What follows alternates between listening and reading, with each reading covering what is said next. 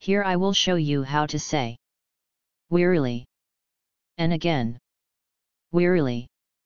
Congratulations, I have many more videos.